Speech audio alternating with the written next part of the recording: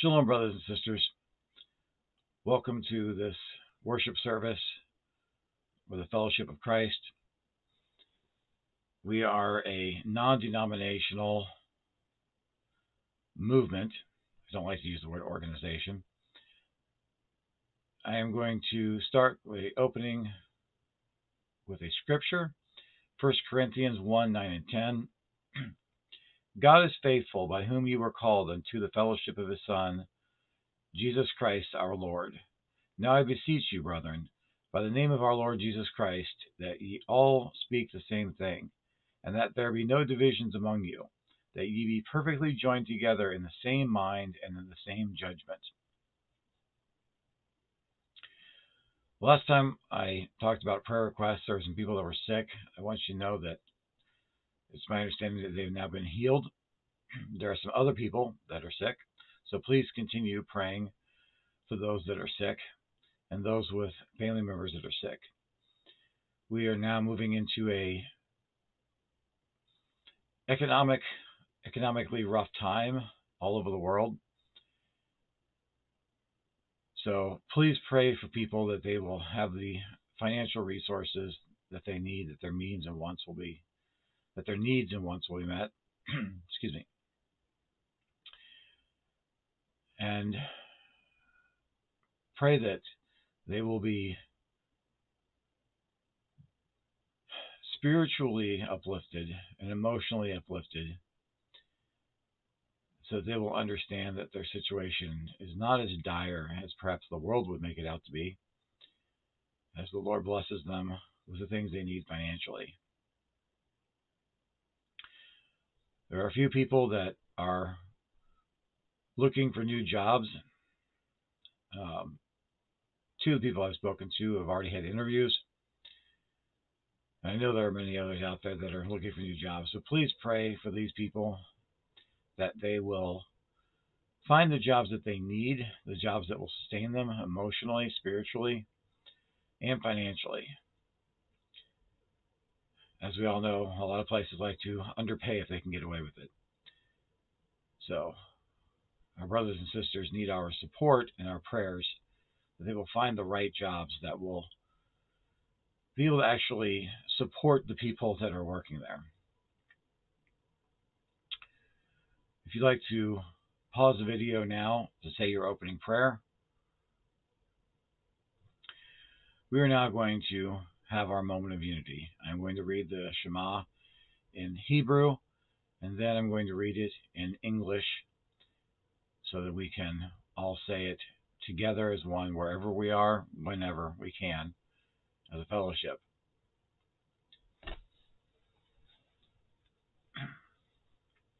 Shema Yisrael, Yahweh Eloheinu, Yahweh Echad. Hear, O Israel, Yahweh is our God. Yahweh is unity.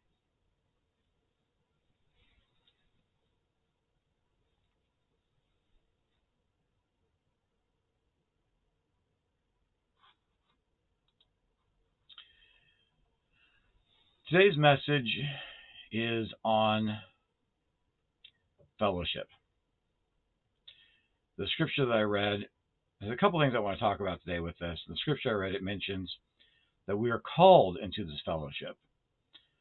Now, that doesn't mean an organization. That doesn't mean that anybody that ever watches this or listens or becomes a Christian or a Latter day Saint, you know, has to join the fellowship of Christ. We're a non denominational movement.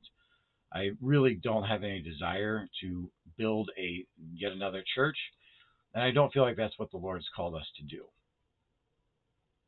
But He has called us into a fellowship. The Lord named this organization the Church of Jesus Christ in Christian Fellowship. And I remember when I received that revelation, I was like, this is too long. I asked you for something shorter, and I was frustrated. But that's what the Lord said to do, and so it's what I did. And as things moved on, moved forward, I realized that the Lord is obviously way smarter than I am because what are we? We are a church not in the traditional sense of a church, like, oh, there's the church building over there. We go to that building or that organization.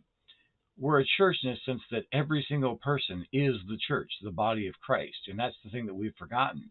We see that church is some ambiguous thing, forgetting that we ourselves are the church. So, what are we the church of? Jesus Christ.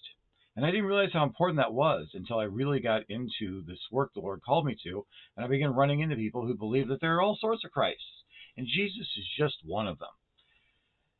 And I personally can understand that on some levels, but there's only one Jesus Christ, Son of God, who died for our sins, atoned for us, was resurrected so that we may be resurrected, and that is Jesus Christ, the Son of God. And so this is his movement in the sense that we are his. We are his church, no matter what organization you belong to or don't belong to. So, what is it we do as a church, as a body of Christ? Well, we fellowship. We fellowship with other Christians. We are a Christian fellowship. So, really, the Lord knows all. This is the perfect name. We've shortened it to the fellowship of Christ, to be perfectly blunt, for marketing reasons, not because we're trying to sidestep God. He does call us the fellowship of Christ in some of the revelations that we've received, many of them, in fact. But people get so hung up on this idea that we have to be a church. But I don't want to get into that too much today. The main thing is if you're here and you're fellowshipping with us and you want to be a member, then you're a member. I just want to want to talk about this a little bit.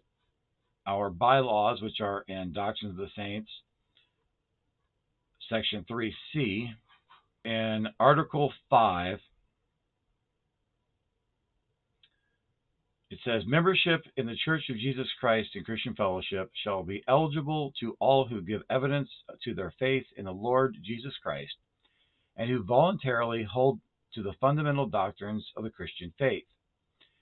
When a person chooses to be a part of the Church of Jesus Christ and Christian Fellowship and involve themselves, they are automatically considered members. So, in other words, anybody who says they're a member is a member.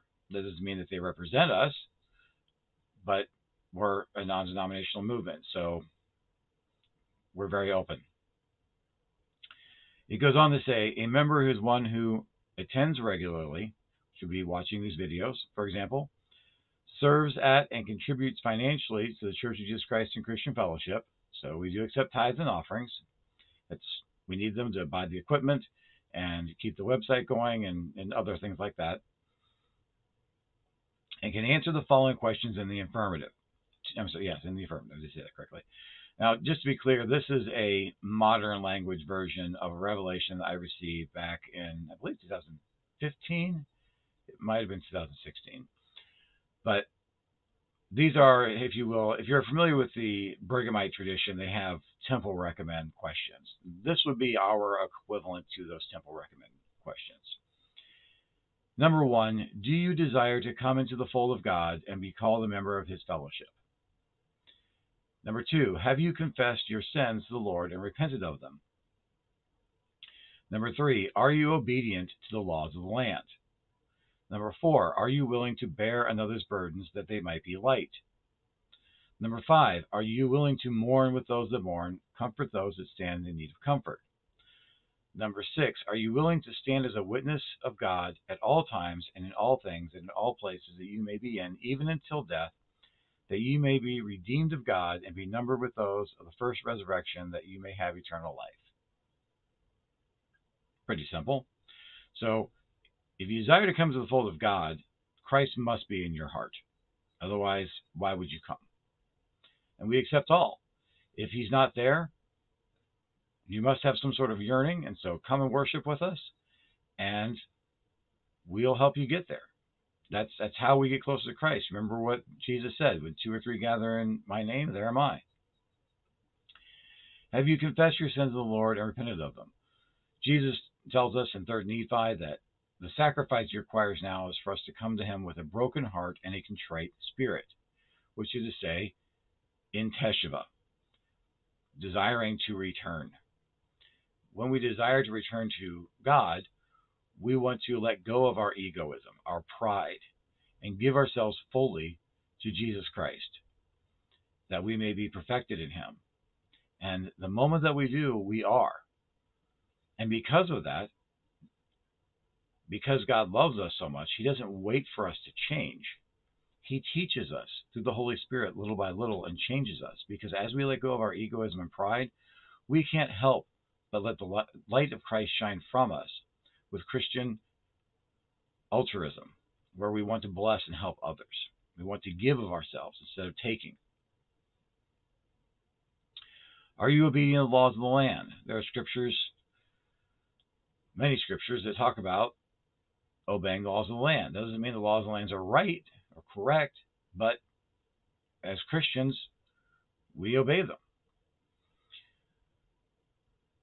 Are you willing to bear those burdens that they might be light? Again, that is the Christian message. If you want to learn more about that, read King Benjamin's address in the beginning, first couple of chapters in the Book of Mosiah and the Book of Mormon. That's the whole point of being a Christian. Read Acts chapter 2.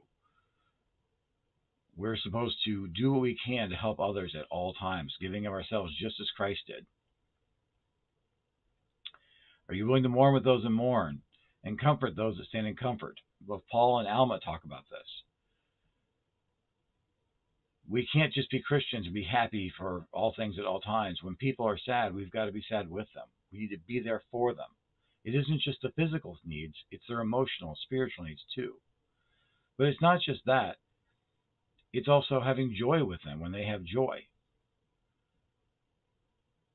Can we be there for other people in good times and bad, as they say in the, in the marriage vows,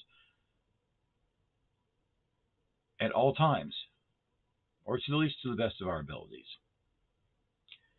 And as Christians, we are disciples of Christ. So the sixth one, we stand as a witness of God at all times and in all things. In everything we do, we are representing our Lord and Savior, Jesus Christ.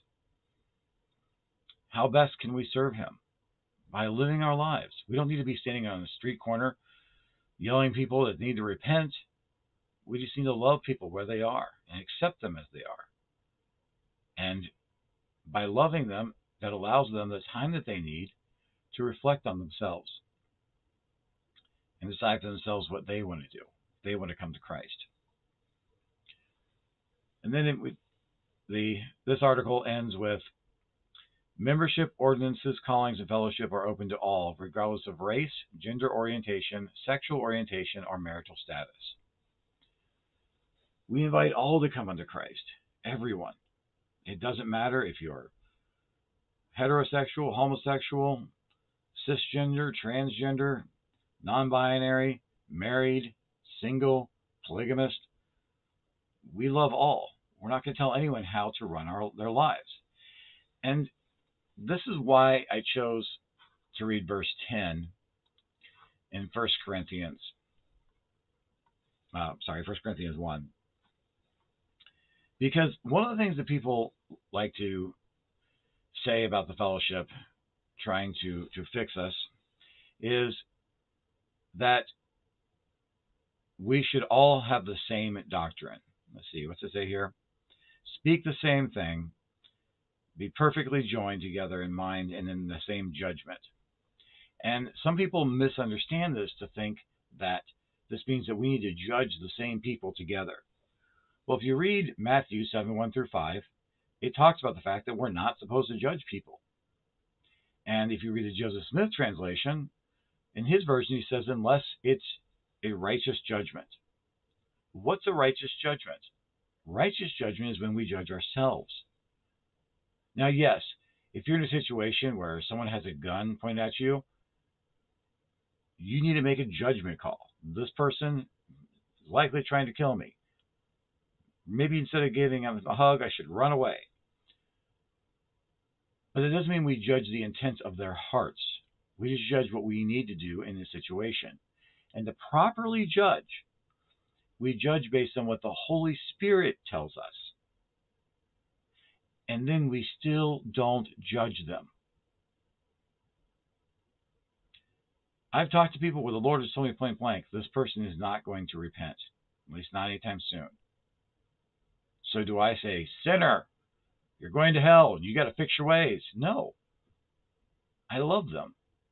There's a rabbi that was asked one time, how do you obey all 600 plus commandments that are in the Torah.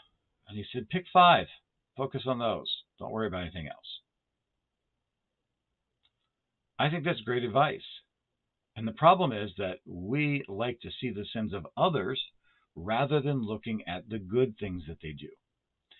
So when we re- when we read that ye all speak the same thing, what if that same thing is love? What if that same thing is acceptance? I love you where you are and mean it. I know there are people that I say that to and they think that I'm insulting them. But I mean that. I love everyone where they are because that's where God loves me, where I am. I'm not perfect. I mess up. But the Lord is still here for me. Jesus is still atoned for my sins. And I'm still growing in grace the best of my ability through the power of the Holy Spirit and the grace of Jesus Christ. Because it's not something I can do on my own. There is no works we can do on our own. Jacob talks about that in the Book of Mormon.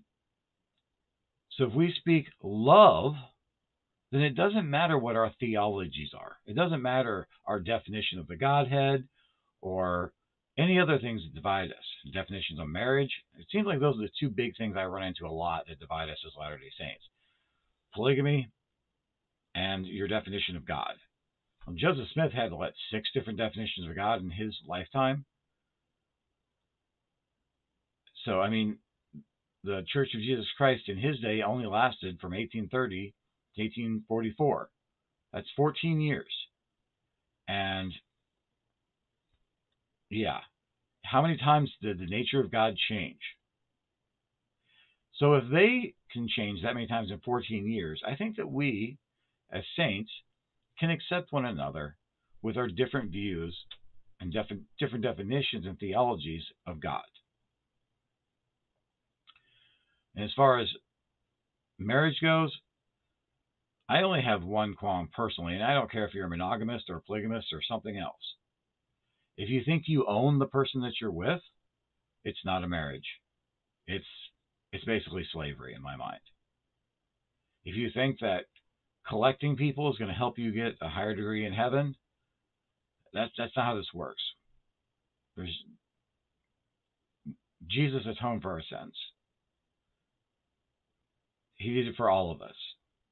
We're not going to get some higher degree of heaven just by marrying a people. But if you want to believe that, you're still welcome here. I'm just telling you my beliefs. I'm not going to argue with you. I love you where you are. But as saints, these are the things that we argue about constantly because it's what Satan uses to divide us. So if I can love and accept you as a Trinitarian, if I can love and accept you as a polygamist, even though I am not a Trinitarian and I am a monogamist,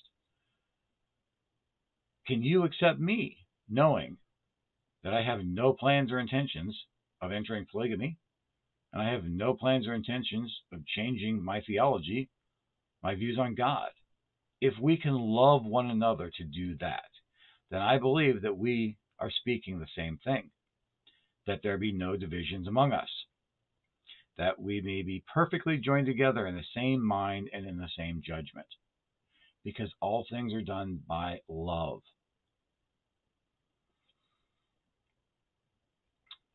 In various different Latter day Saint churches, they'll teach different different laws. You know, there's the law of Moses and the law of Christ. And what's the law of Christ? What's the doctrine of Christ? Well, for me, I know I, I just go straight to the scriptures where it says this is my doctrine. Repent and come unto me. That's it. It's pretty simple. Excuse me. But how do we come unto him? How do we come unto Jesus Christ? That's where we get divided. So some people talk about a law of chastity, which I don't think is a bad thing. I can't find it in the scriptures, but you know, if that's what you believe, I, I love you where you are and I, I support that. Go for it. Some people believe you have to have a, a law of consecration where you give up everything that you have to a organization If that's what you believe, I love you where you are. Go for it. If, if you, you can do that, that's wonderful. The law that I personally teach for the fellowship of Christ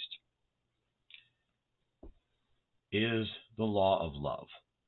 When I look at the message that Jesus Christ gave us, the overall message, when he said, Repent, come unto me, he said that the two great commandments are love God and love your neighbor. And then at the end of Matthew 5, he taught us what perfection was. He said, Love your enemies.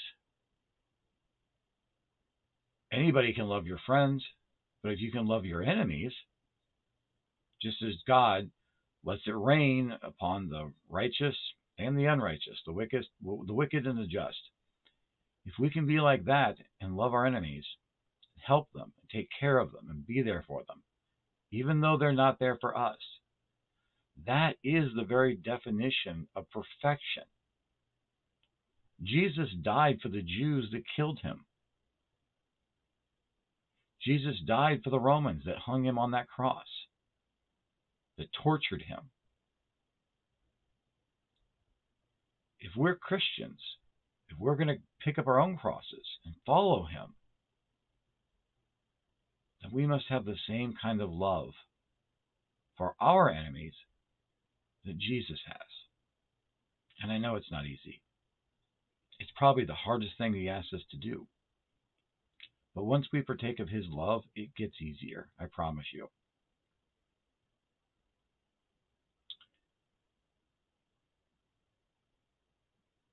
So to me, the gospel of Jesus Christ, the other name for it, you can call it the plan of happiness. It's called that in the Book of Mormon. I call it the law of love. If we can love one another and truly love one another and truly accept people where they are and not just say that in a dismissive way, then we are Christ's and we are a fellowship, a Christian fellowship, and we are His church. So I want to wrap up by telling you that if you feel called to Jesus Christ, whether that be in body or in a ministry, the fellowship of Christ being a non denominational movement, we will baptize anyone to a non denominational baptism, where you're just coming to Christ and no obligation will baptize you and confirm you and give you the gift of the Holy Ghost. No strings attached. You can walk away and never have anything to do with the fellowship of Christ ever again. If you wish to join the fellowship of Christ, we're, going to ask you those questions that I read earlier.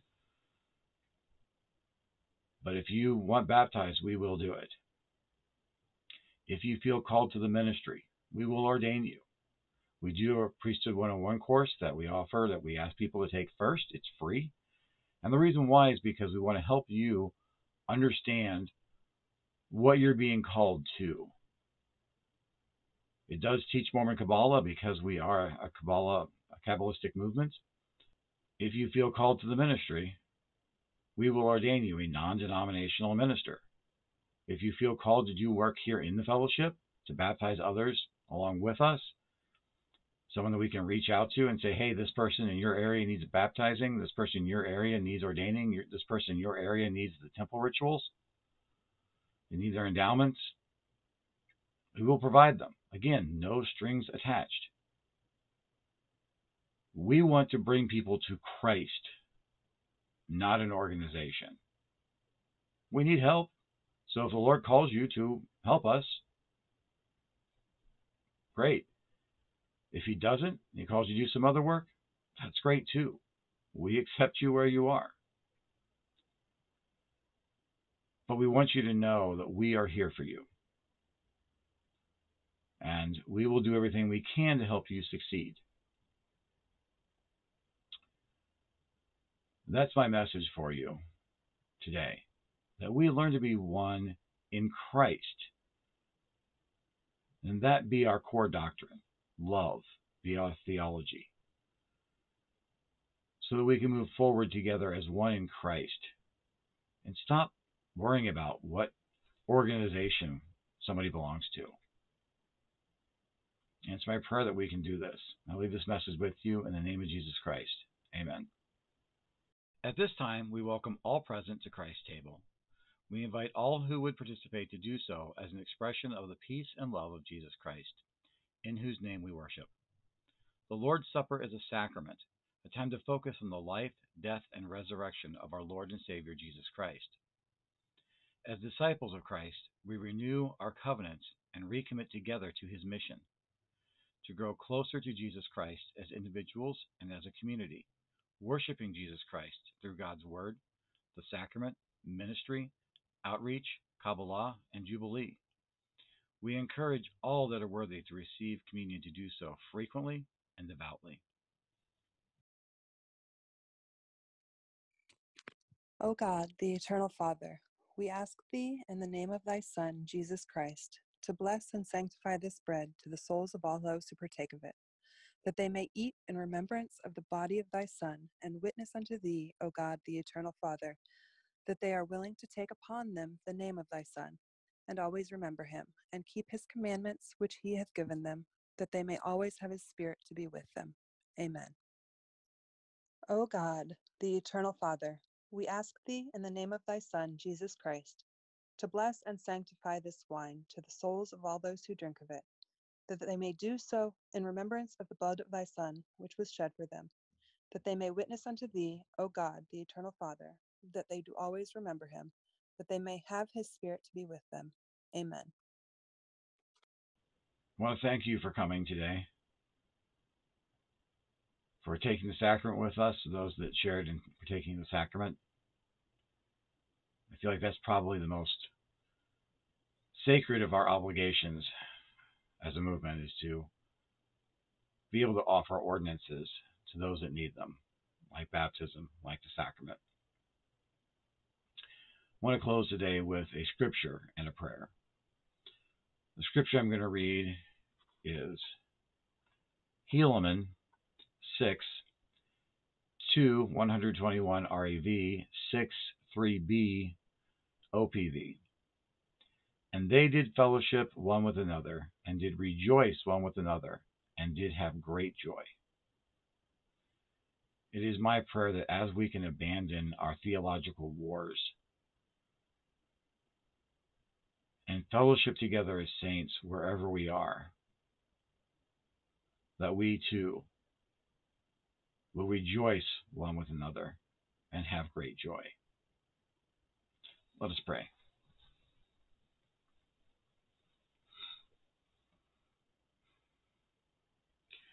Elohim Shaddai, we bow our heads before thee at this time to thank thee for the opportunities you have given us to worship together in your name, to fellowship one with another, with the saints of Christ, to thank you for the atonement of your Son, Jesus Christ, the opportunities that this has given us, for the sacrament of communion, we may have the opportunity to feel thy spirit together with our fellow saints and the technology that we have. We have brothers and sisters scattered all throughout the world to join with us in fellowship in these services. If it wasn't for the technology that you have blessed our lives with, this would be impossible. We are so grateful that you have blessed us with the science and technology to allow your work to move forward.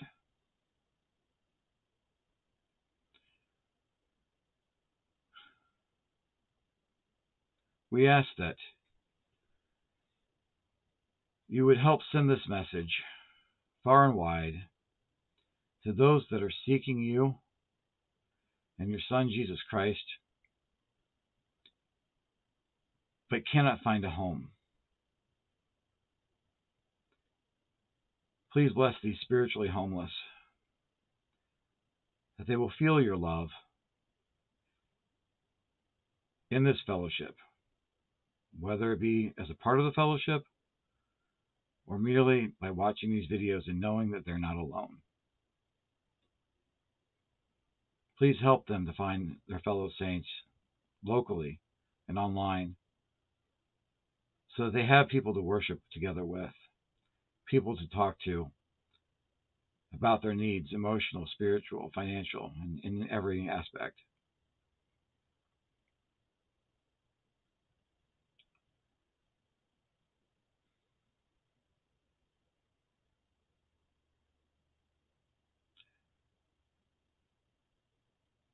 You have promised that when things get dark, the very ground that we walk on will be holy. We ask you to please fill us with thy Spirit to remind us of this promise.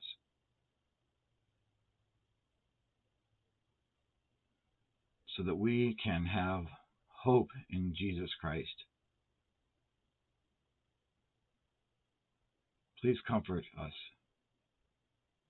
Please comfort our souls in Christ.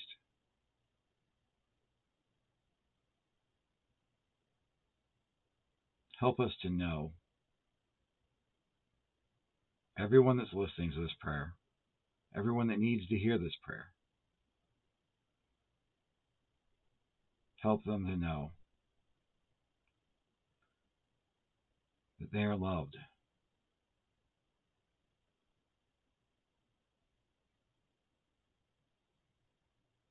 That there is a place for them in your home and in your name. That they are good enough.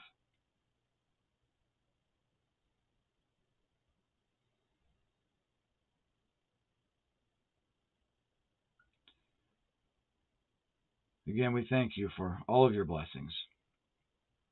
Thank you for all the opportunities you've given us. And we pray these things in the name of thy beloved Son, Jesus Christ. So mote it be. Amen.